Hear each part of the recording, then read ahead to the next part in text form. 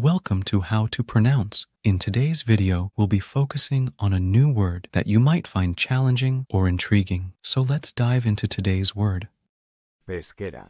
which means Pesquera. Relating to fishing or a place where fishing occurs. let's say it all together. Pesquera. Pesquera.